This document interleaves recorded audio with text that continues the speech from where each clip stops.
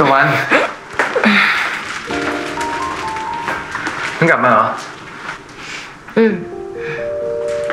มีข่าวด่วนนะกลับดึกเลย ใช่ คุณพนิดาให้ทำข่าวต่อเนื่องอะน้าก็รู้อยู่แล้วเนี่ยจะถามทำไม เอ้ยตะวันตะวันโอ๊ยเจ็บไหมเนี่ย วันนี้ตะวันน่าจะทำงานหนักนะ ดูมา ดูมึนๆอะใช่ตะวันทำงานหนักจริงๆแหละ ก็เลยมึนๆน่ะแล้วน้าไปไหนมาทำไมกลับดึกจังเราเพิ่งทำงานเสร็จอะก็เลยเพิ่งกลับมา ท่าทางน้าจะทำงานหนักเหมือนตะวันเลยเนาะน้าเลยดูเมาเอ่อดูมึนน้าดูมึนมากๆเลย เหมือนตะวันเลยอะ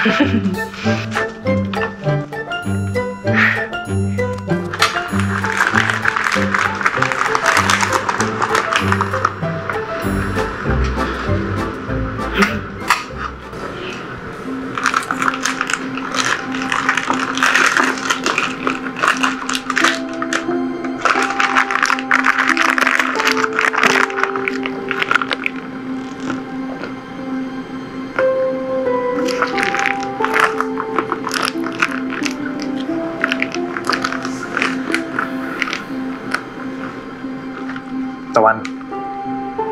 หึขอบใจมากนะ วันนี้มาแปลกอะขอบใจเรื่องอะไรอะ ก็เรื่องที่ตะวันเคยบอกเราไง พอพวกเราโตขึ้น วันหนึ่งต่างคนต่างก็ต้องมีชีวิตของตัวเอง ตะวันกำลังจะบอกว่าให้เราลืมเรื่องในสมัยตอนเด็กๆนะ แล้วก็ไปมีชีวิตของตัวเอง ใช่น้ากลับไปกรุงเทพเนี่ยตะวันอยากจะให้นะ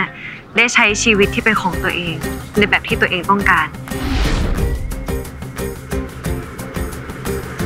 ที่ตะวันบอกให้เราใช้ชีวิตของตัวเอง ให้เดินบนเส้นทางของตัวเอง ตอนแรกเรานึกไม่ออกเลยนะเรารู้ไหมว่าตอนนั้นเราก็ น้อยใจด้วย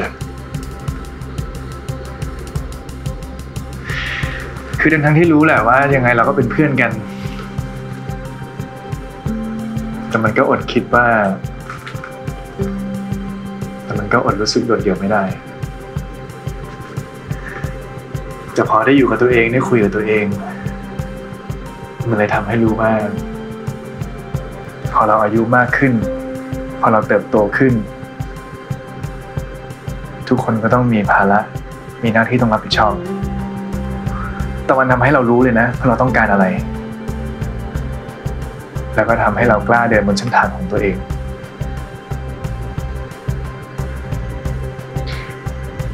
ตะวันดีใจนะ ที่นายคิดแบบเนี้ย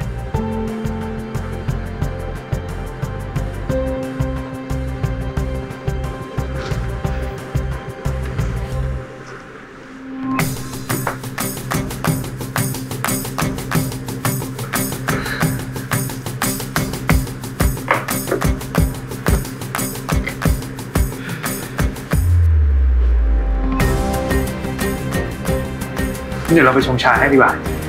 ตะวันจะได้หลับสบาย เป็นคาโมไมล์เนาะขอบคุณค่ะ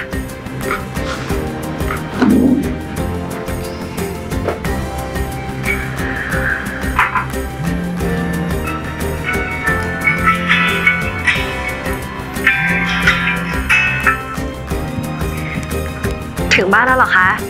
ครับ ผมถึงบ้านละ ตะวัน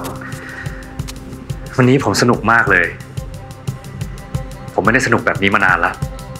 ค่ะตะวันก็เหมือนกันค่ะ ขอบคุณมากนะคะ ที่ทำให้ตะวันหายเครียด งั้นตะวันพักผ่อนเถอะนะ ค่ะฝันนี้นะคะ กุณไนครับ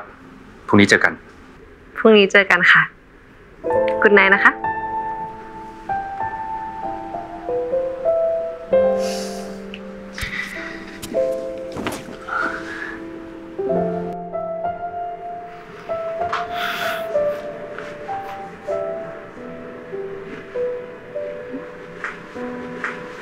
ชามาแล้วครับ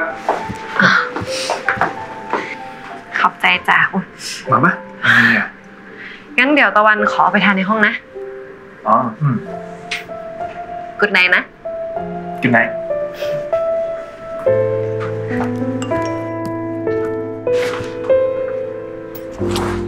กุดไนนะครับ ฝันดี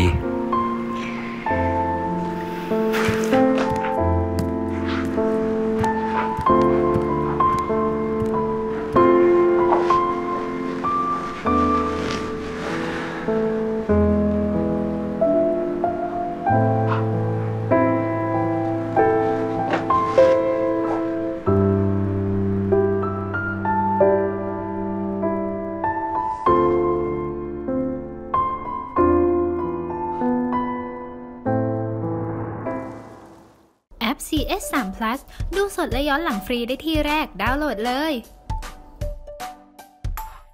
ไม่อยากพลาดละครสนุกกด subscribe ไปไว้นะคะ